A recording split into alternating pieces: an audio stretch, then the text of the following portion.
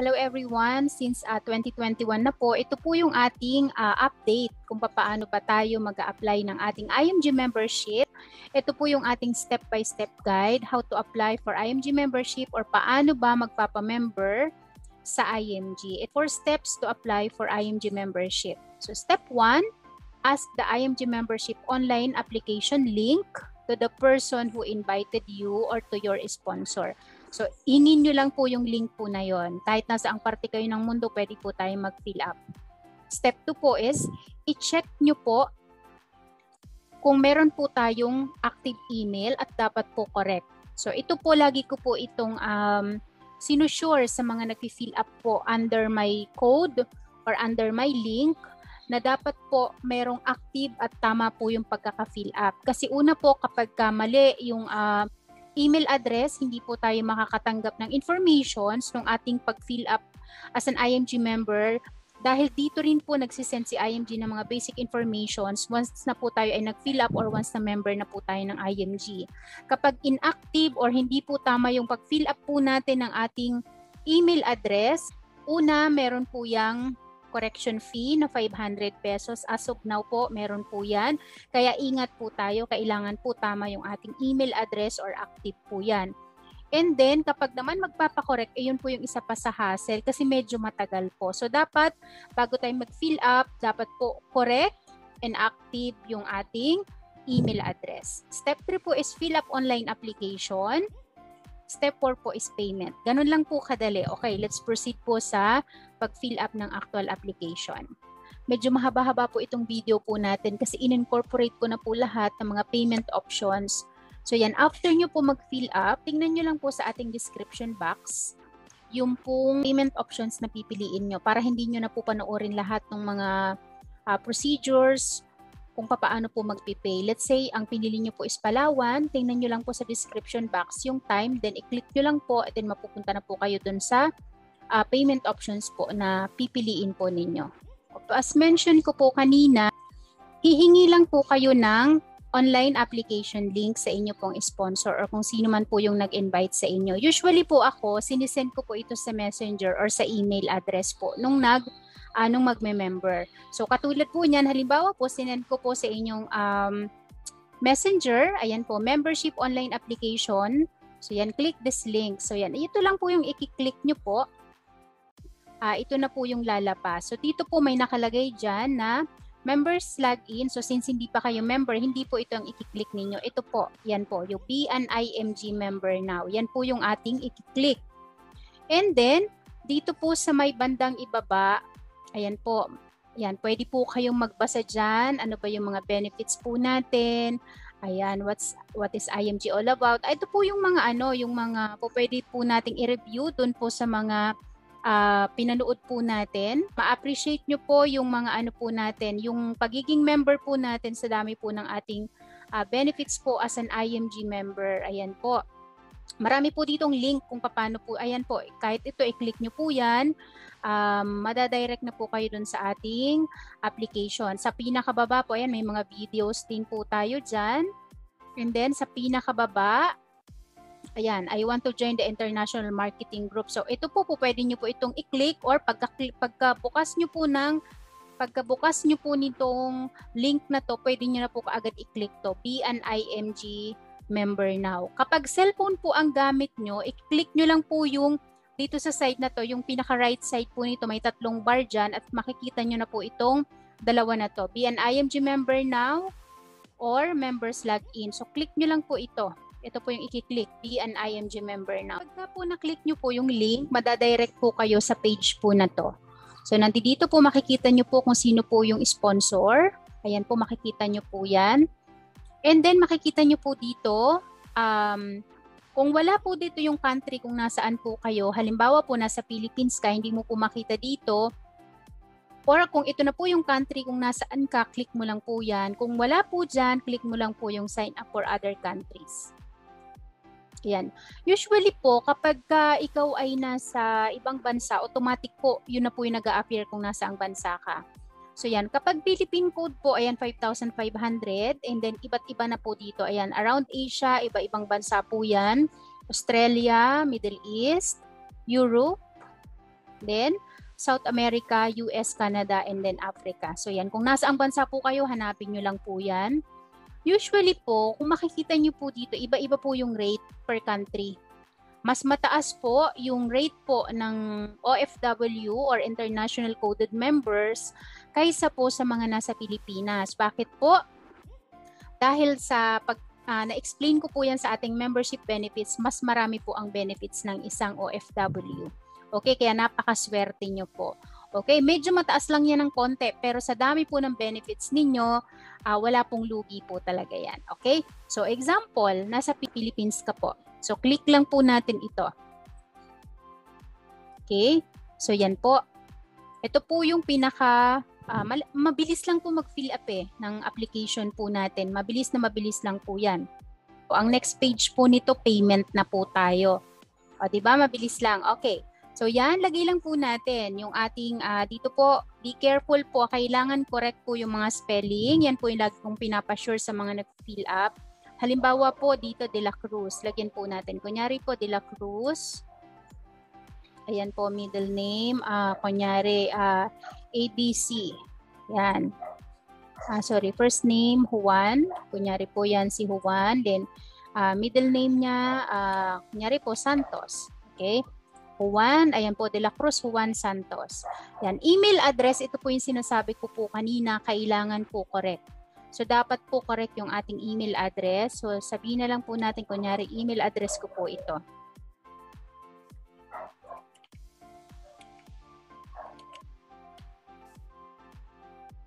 Okay. Uh, tandaan nyo po mga kapatid, kapag ka po ang email address mo ay pumasok na po sa system ng IMG, Kapag po yan ay pumasok na sa system po ng IMG, hindi na po yan, ayan, ito po nakalagay po dito. Your email is already in our system. So, click OK to log in or click forgot password. So, meaning po, nababasa po ng system, pasok na po yung email address ko. Kaya po, halimbawa, nag-sign up na po kayo, kunyari hindi pa kayo member, pero nakapag-sign up na kayo ng mga una-unang mga panahon, hindi na po yan papasok. Kung kanino po kayo nag-sign up, doon na rin po yon. Halimbawa po, Juan, Juan de la Cruz at gmail.com. I don't know po kung papasok pa ito. Tingnan po natin. Okay. So yan, once po kasi napasok na talagang hindi na po siya tatanggapin po ng system, yung email address po na yon. So isang beses lang po tayo magsa-sign up. Kaya po wag pong uh, gawing biro po yung pagsa-sign up ng IMG membership. Kailangan po ito ay seryoso. Kung saan po kayo kung sino po yung sponsor ninyo at yung totoo pong mag sponsor po sa inyo, yung link lang po na yun, doon lang po kayo magsa-sign up. Kasi once na naka-sign up na po kayo sa ibang link, hindi na po kayo pwede mag-sign up po ulit. Hindi na po siya tatanggapin po sa system. Okay? So yan, confirm lang po natin yung uh, email address na inilagay po natin. Okay? Yan, match naman daw po yung email address po. Dito po si sponsor code at sponsor name, automatic po yan nandiyan dyan. Hindi na po yan mai-edit Okay, kung kanino po yung link na ginamit po natin. Pagdating po dito po sa BAP, ay ito po, skip nyo lang po ito. Name of the trainer po pwede nyo pong ilagay kung sino po yung uh, sino po yung nag-invite sa inyo or sino po yung uh, nag-train po sa inyo. Po pwede nyo po siyang ilagay po dito. Like halimbawa, pangalan ko po, pwede po yan. Okay, so yan po. Pwede po pwede nyo pong ilagay kung ako po yung nag-train po sa inyo.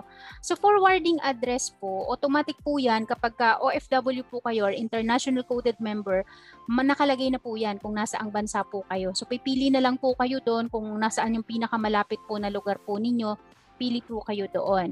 Dito naman po kapag nasa Pilipinas po kayo, since ito po ay uh, Philippine Code yung pinili po nating link, uh, pipili po kayo dyan kung saan yung pinakamalapit pong lugar na pinakamalapit po na office na kung nasaan po kayo.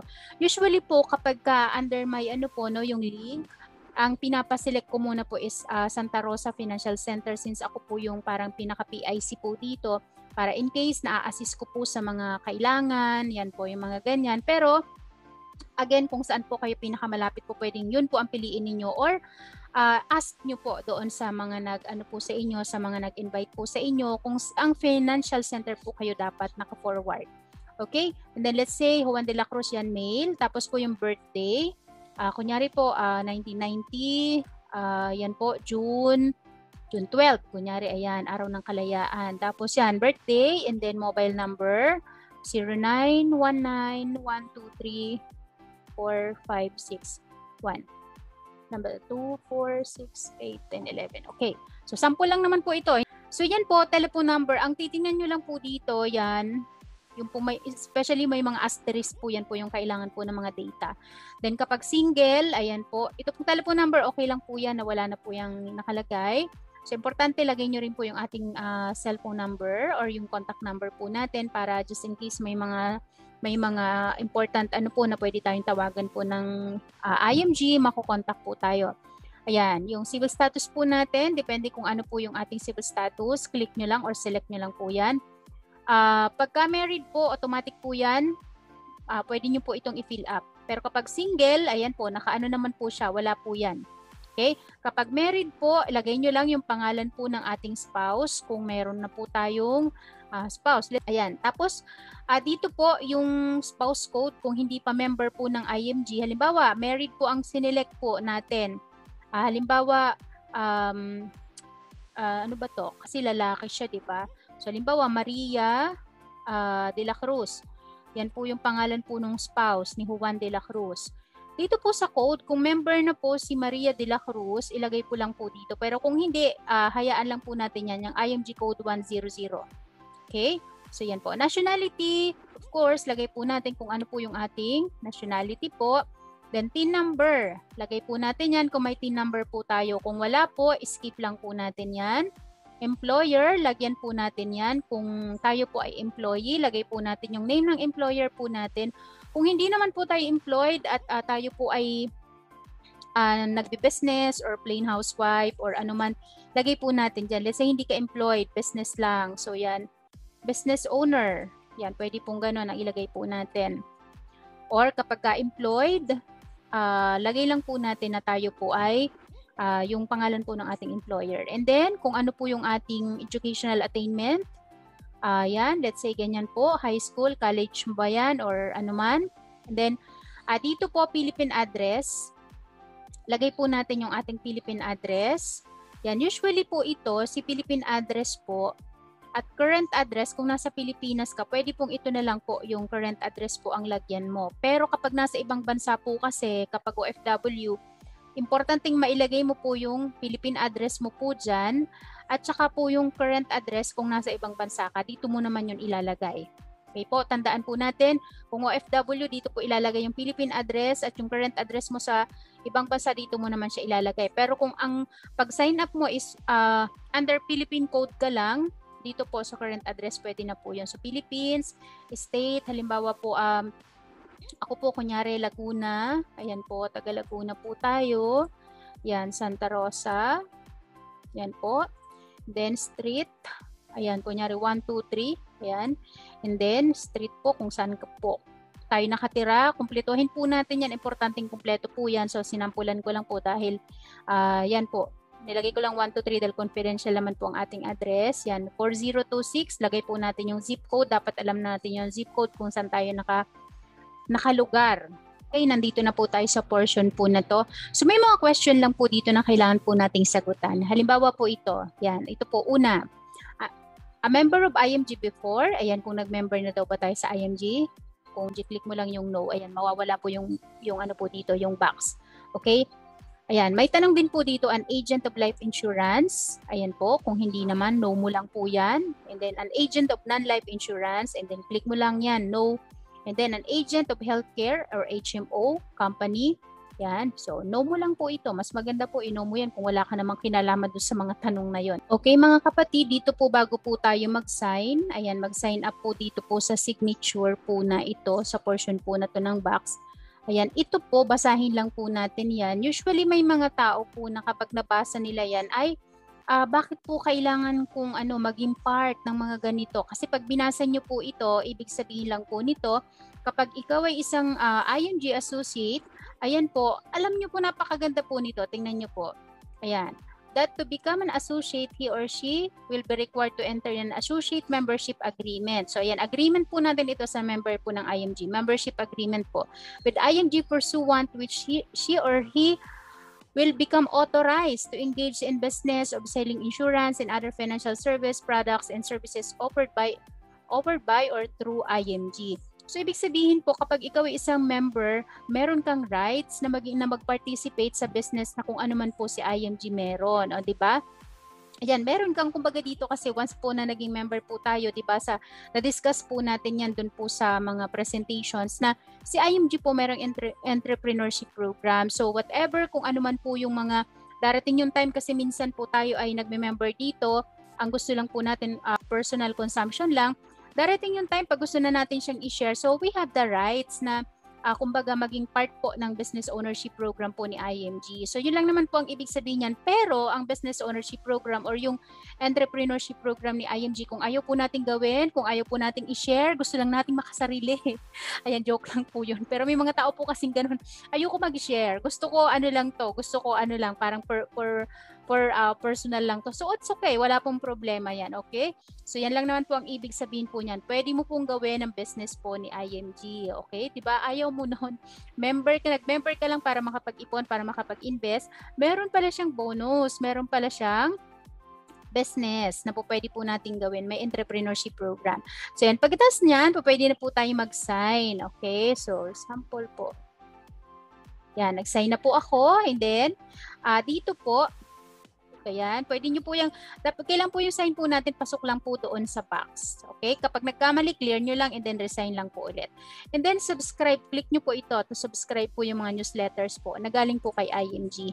Okay, so pag uh, tawag nito, pagka yan ay subscribe nyo, may matatanggap na po tayo once na correct yung ating email. Ayan, pagka approve na yung ating membership, may matatanggap po tayo mga newsletters, mga basic informations about our uh, membership. Okay, and then after that, click lang po natin yung continue. Dito ka na po sa page na yan, tandaan po natin, ito na po yung ating code. Ayan na po yan.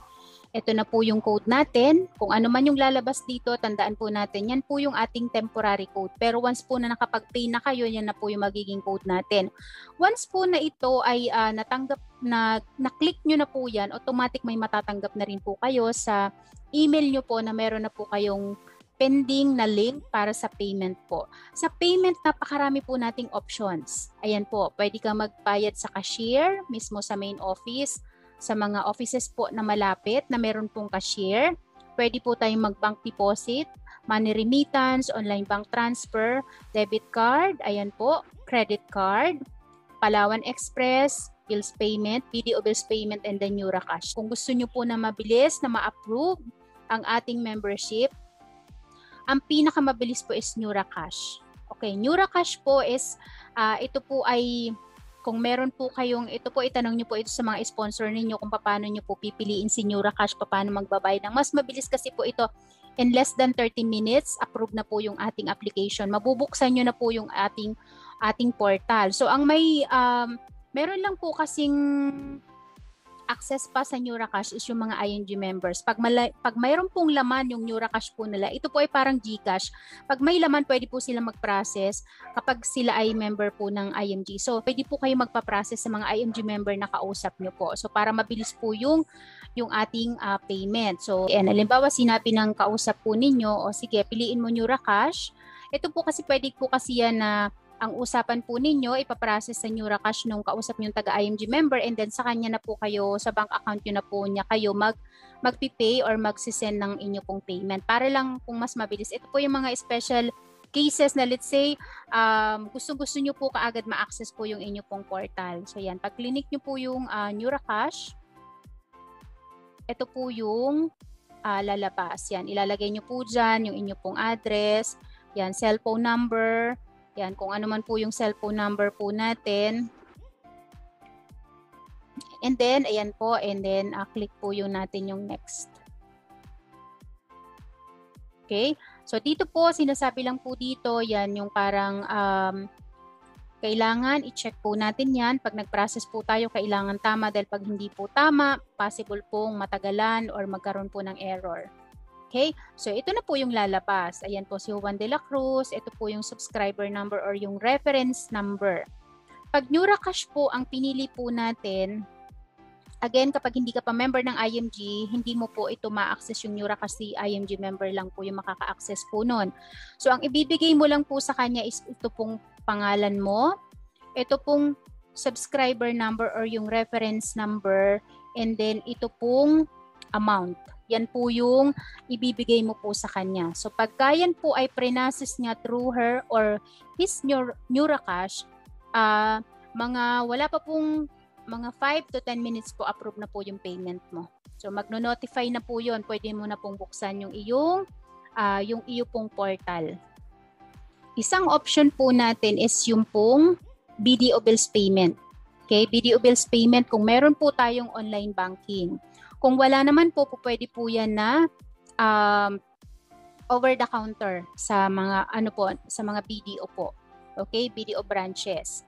Pero kung meron kang online banking, mas maganda. Okay, let's say sinelect po natin si BDO Bills Payment. Okay, pagka po clinic natin yan, ito po yung lalabas. So, kumpletohin lang po natin. So, let's say, uh, yan na po yung ating number. Yan, kinumpleto na po natin. Then, click lang po natin yung next. Okay, again, click lang po natin yung mga box na yan. Sinasabi lang na kung magbabayad po tayo through bills payment, kailangan tama po. Kasi po may bayad or um, may bayad, yung mga correction po kapag nagkamali po tayo. Okay? So yan po. Dito na po lalabas yung iyong again yung pangalan mo, yung reference number at yung amount po ng iyong babayaran. So kapag video bills payment po ang gagamitin po natin, Ayan po. Uh, Siyempre po, bubuksan natin yung ating online banking ng video bills payment po natin. So, alam naman po natin yan kapag meron po tayong online banking ng BDO, sa Google po tayo mismo magpunta. E kapag na-open nyo na po yung account po ninyo, punta lang po tayo dito po sa, ito po, nandito sa left side. Lang po natin yung pay bills and reload. Ayan po. And then, click bills payment and then bills pay.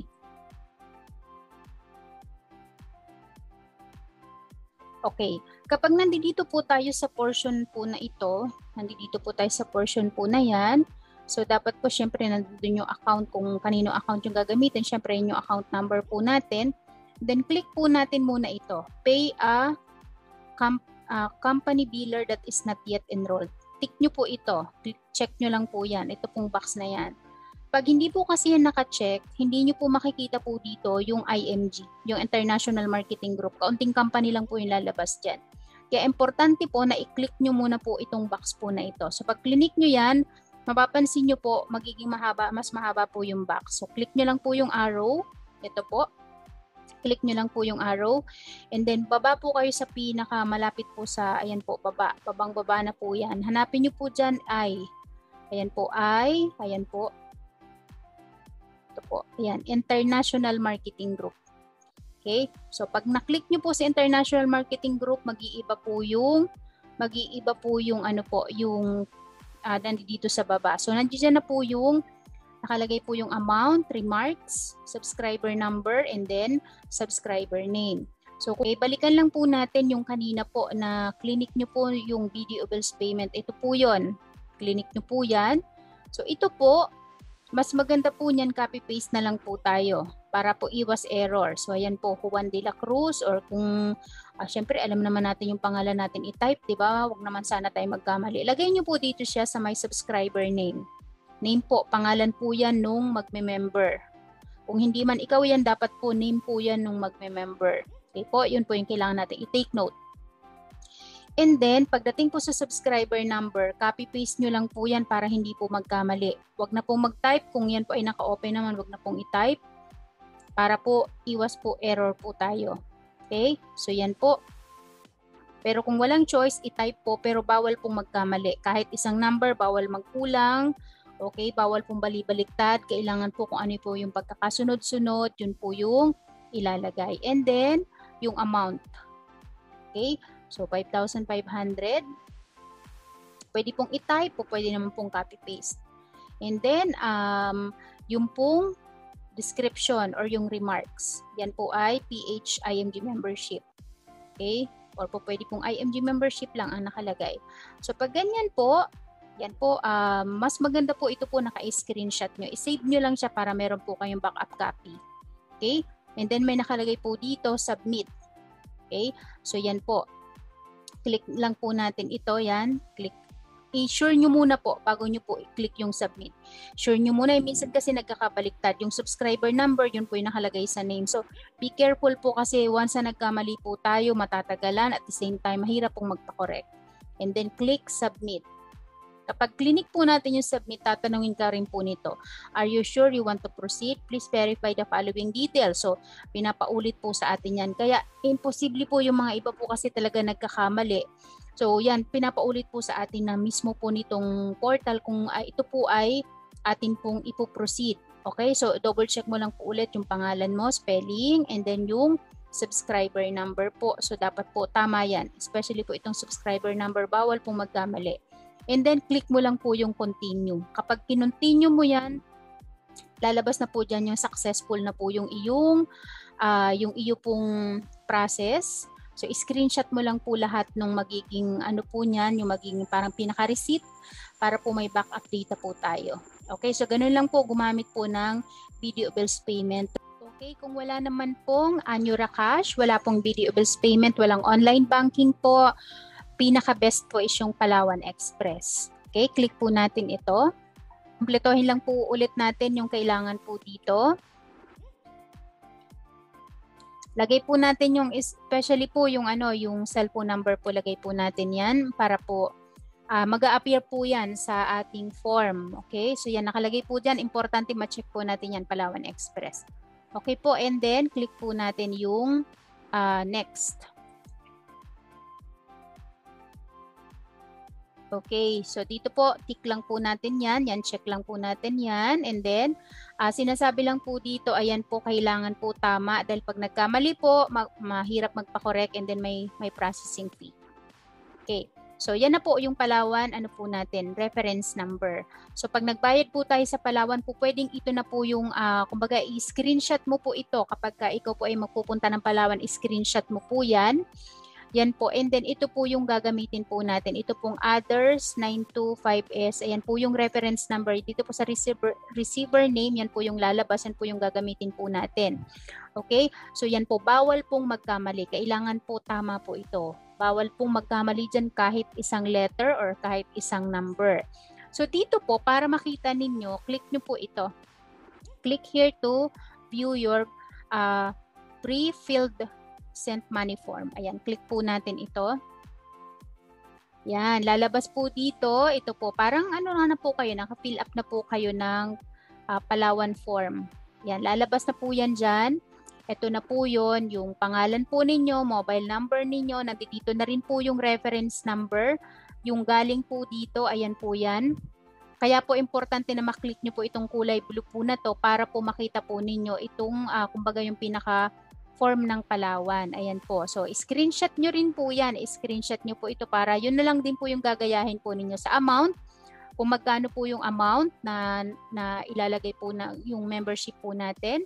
And then dito po purpose of payment is yan po. Transact uh, I mean yung transact yung purpose of transaction is payment, relationship to uh, receiver po is client. Ayan po since uh, client po tayo ni IMG. Okay. Then, nandiyan na rin po, nakalagay na yung pangalan, pipirmahan na lang po ito. Okay po. So, yan na po yun. Again, bawal po magkamali po dito. Ito po po pwede nyo po itong i-print. Ito po, po pwede nyo siyang i-print para pagdating ng pala, bibigay nyo na lang. Or, po pwede nyo po siyang gayahin. So, careful lang po sa paggaya kasi dito po again, bawal pong magkamali po dito. Okay kung ang question, pwede bang halimbawa nasa ibang bansa ako, ipapaprocess ko sa family ko, Palawan Express yung aking pipiliin, yes po pwede po. So halimbawa nasa ibang bansa ka, nasa US ka or nasa Singapore ka, piliin mo lang po yung Palawan kasi pangalan mo naman po yung lalabas dito. Pati po dito, pangalan mo rin po ang lalabas po dyan. And then pagka po magbabayad sa Palawan, pwede naman po yan na iba po ang magbabayad pwede naman po yun sa Palawan. Alam ko po sa Palawan, ang mahirap lang dyan yung pag ikaw yung magki-claim, dapat ikaw mismo talaga. Pero pag magpi-payment po, po pwede po sa Palawan na iba po yung magpipay. Sasabihin nyo lang po kung magpapabayad po kayo sa family member nyo po dito sa Pilipinas, ipapasuyo nyo po, paki-check po yung receiver uh, name. Ito po, kailangan po ito ay tama. Wala po dapat magkakamali dyan dahil pag nagkamali, since yan po ay unique code nyo po as, as a membership nyo po, ay hindi po yan papasok sa system ng IMG. Magpapakorek pa po tayo, may processing fee, medyo hassle pa po siya. Kaya po dapat careful lang po sa pagpa-process. Pwede po kayo mag-credit card. Ito po meron lang certain charges. Ito pong credit card. Depende po yan sa gamit po nating credit card. Ito po real time. Kung kailan po kayo nag-process ng payment ninyo, wala pa pong 5 minutes, approved na po yan. Mabilis lang po yung approval. Pwede din po yung debit card and then online bank transfer or bank deposit po. So sa bank deposit, um, ito pong bank deposit at saka po itong online bank transfer, medyo matagal nga lang po ang approval. O kung saan po yung pinakamadali doon po tayo. So sabihin na po natin mag-ano po tayo, mag um, o online bank transfer po tayo or magba-bank deposit po tayo. Ito po kapag po bank deposit or online bank transfer, so parang halos same lang po ang process po kasi nito. Okay po, halimbawa po online bank transfer po tayo. Click po natin yan. Okay, again, kumpletuhin lang po natin ito. Okay po, Say, kinumpleto mo na yan. Then, bank transfer po ang pinili mo. Okay? Lalabas po ito. Ito po yung amount. And then, pipili ka po dito. Pili ka lang po kung ano yung bangkong gagamitin mo pag mag-online transfer ka. Meaning kapag ikaw ay mag-online transfer po, dapat po meron kang online banking. Okay, online banking po. Po pwede ka mag-transfer po sa mga bank accounts po ni IMG. Okay? So halimbawa po ang pinili mo is uh, ah, BPI, or ito pong Union Bank or kung ano man po dito, basta ano man ang bank na meron ka. Basta online po yan. Pwede kang mag-transfer mula sa bank mo papunta po sa bank ni ING. Halimbawa po, BPI. Click mo lang po yung select. Okay? Select. Okay. Mapupunta ka po sa page na to. Kapag nandito ka na po sa page na ito, mga kapatid, Makikita mo po dyan, ayan po BPI, ito po yung reference number. Account number po, ito po yung account number ng BPI na IMG, ayan po yun. Kay IMG po ito na bank account. Okay? So account name is International Marketing Group, ayan po. So dito po, ang gagawin po natin, after that, punta ka po ngayon sa BPI online mo. Okay? Kung ano man yung bangko mo, BPI online or kung ano man yung online banking mo na yan, BDO man yan or Union Bank, punta ka po doon, mag-transfer ka po sa account ni IMG. Ito po yung gagamitin mong account. Kung ano man po yung lumabas na account dito, yun po yung gagamitin nyo po. Bawal po magkamali sa bank account number. Then may nakalagay po doon na reference number. Ilagay nyo rin po yung reason, yung description po sa bangko po ninyo, sa online banking nyo, kung yan po ay IMG membership. And then, kapag ka meron na po, screenshot nyo po yon. I-save nyo po yung picture. Okay? Yung picture po nun. And then, pagka po na-save nyo na po, ito po siya. Kiklik nyo po ito. Okay? So, ito po, kung wala na po ito, halimbawa po, ah, hindi pa kayo nakapag-transfer, ay nyo pong uh, email, may marireceive din po kayong uh, pending payment po, yung link ng pending payment. Pag clinic nyo po, same lang po makikita nyo. Once sa clinic nyo po yun, ito rin po yun. Same lang po siya. Okay? So, pag clinic nyo po yan, pag clinic nyo po ito, okay, ito na po yung lalabas. The same lang po ito mga kapatid kapag ikaw ay nag-bank deposit. So yung 'di ba yung kanina po kapag ka po uh, nag-bank transfer ka, yun po yung lalabas. Kapag ka po na bank deposit ka, the same din. So yung bank transfer at uh, bank deposit, ito din po siya. Ganun din po ang lalabas po dito. So pag ang pagkakaiba lang po niyan, magkaiba po yung i-upload mo. Yung i-upload mo kapag na bank transfer ka, ito po yung sa online banking mo po na pre-process mo, na ini-screenshot mo. Pero kapag bank deposit, yan po yung manggagaling sa bangko na deposit slip. Yun naman po yung ilalagay mo po dito. So dito po, ayan, yan, confirm your deposit. Ayan po yung, ito na po yung account ni IMG. Yan, ilalagay mo po dito, kailan ka po nag-deposit. Let's say po nag-deposit ka po ngayong araw na to. Lalagay mo po yung time, let's say po nag-deposit ka mga 10 a.m., 10.25, Ayan, 10.25, 21. Kung ano po yung eksaktong oras na nandun po sa ating bank transfer, yun po yung ilagay po ninyo para hindi mahirapan po na mag-verify. Tapos po dito, select file. Ito po yung in-screenshot mo. I-ano mo lang po yan, i uh, pangalan nito, i-click mo lang po yung ano po, i-click mo lang po yung file na yan and then attach. Okay po, kapag na-attach mo na po, lalabas po dito na naka-attach na po yung picture and then click submit. Okay po, pag na-submit nyo na po yan, may nakalagay po dyan na it takes uh, days to verify your payment. naman po bank deposit, again, parang katulad lang din po yan yung ng online bank transfer. So, sample po natin, click po natin yung bank deposit. Yan, again, kumpletuhin mo lang po yung hinihingi po dito na information. Okay, and then may nakalagay po dyan bank deposit and then next lang po. Okay. So again, click mo po kung saan ka magdi-deposit na bangko. Kung saan mo mas feel, halimbawa pinakamalapit na area, saan ka magdi-deposit. Pag magdi-deposit ka, let's say po um, Metrobank. Metrobank naman po. Yan po. Yan, click mo lang yung Metrobank, select. Okay. Sa deposit slip po, slap po natin yon Okay, lagay lang po natin mayroon dun purpose and then po magkano yung amount. Ito po yung account number po ni IMG. Ilalagay nyo po dyan International Marketing Group account name. And then ito po yung account number. Yan po siya. Ito po yun. And then ito po yung reference number. Po, bawal magkamali po ng account number. Lagay lang po natin yung reference number doon. And then po kapag po nakapag-deposit na po tayo, picturean lang po natin. Okay, picturean po, kailangan po malinaw para po mas mabilis po ang verification. Okay? So, dito po, click lang po natin. Kapag ka meron na po yan, ah, kapag meron na po tayong picture na kapag deposit na po tayo, click lang po natin ito. Eh, what if may ah, nawala na to? Kasi nga nag-deposit pa ako. Balikan nyo lang po yung email po ninyo. Meron po yan na, um, kumbaga meron po yan na pending link para po sa payment. Okay? Ito po, ito din po yun. Mas po kasi na maklik nyo to makakatanggap na po kayo ng uh, pending payment link po para sa payment nyo po ng membership. So, click nyo lang po yung nasa email ninyo. Pagka na-click nyo po yun, ganito rin po yung lalabas. Itong ito rin po yun. And then, click nyo lang po siya. So, yan na po yung lalabas. Again, katulad lang po yan nung ano po kanina, nung bank transfer. So, yan po yung account number ng Metrobank ng IMG. Ayan po. And then, ito po yung date, kung kailan pong date. Lagay din po natin yung oras, kung ano yung eksaktong oras na nasa deposit slip. And then dito po ay i-upload po natin yung pinicturean po natin na deposit slip. Yan, pagka na-upload na po natin, um, mag-a-appear naman po yan dito kung naka-upload na po and then click submit. So, ganun lang po. And then, may nakalagay na kung ilang araw po yung verification. So, again, medyo matagal po siya kapag pang deposit, pang transfer po yung ginamit po natin. Kapag BDO naman po yung ating pinili sa bank deposit po, okay, bank deposit and bank transfer, ganito naman po yung lalabas. Ito po yung account number. Okay, ayan po yung account number po. And then, dito po ay, ay ganun din po, click nyo lang po ito. Okay, pag BDO po, ito po yung mga kailangan nating tandaan. May mga example po dito. Susundan lang po natin yung example po na yan.